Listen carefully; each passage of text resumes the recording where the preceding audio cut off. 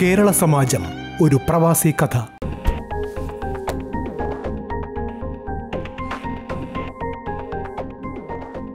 ഷിഹാബിന് എന്താ നല്ല സുഖമില്ലേ? മുഖത്താകെ ഒരു വല്ലായ്മ ഏയ് ഒന്നുമില്ല. ഞാൻ കിച്ചണിൽ വൈഫിനെ ഹെൽപ്പ് ചെയ്യായിരുന്നു. ഞാൻ വെറുതെ ചോദിച്ചു എന്നേ ഉള്ളൂ. കേസ് അന്വേഷണമൊക്കെ എങ്ങനെ പോകുന്നു സർ? ആ അതൊക്കെ നടക്കുന്നുണ്ട്. ജുവലല്ല കൊലയാളി എന്ന് അയാൾ തറപ്പിച്ച് പറയുന്നു. അങ്ങനെ വരുമ്പോൾ അവരുടെ സുഹൃത്തുക്കളെയും അടുപ്പക്കാരെയൊക്കെ കാണണമല്ലോ. അവർ പറയുന്നതും കേൾക്കണമല്ലോ.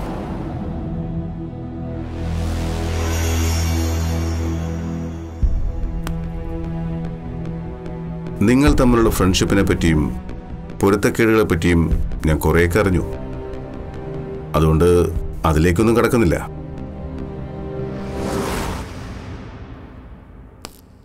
ജുവലിന്റെ ഫിലിം പുരോഗമിക്കുന്ന സമയത്ത് നിങ്ങൾ കുടുംബസമേതം നാട്ടിലുണ്ടായിരുന്നു അല്ലേ? അതിനുശേഷം എപ്പോഴാണ് നിങ്ങൾ മടങ്ങിയത്? അത് കൃത്യം ഡേറ്റ് ഷിഹാബിന് ഓർമ്മയില്ലെങ്കിൽ ഞാൻ പറയാം.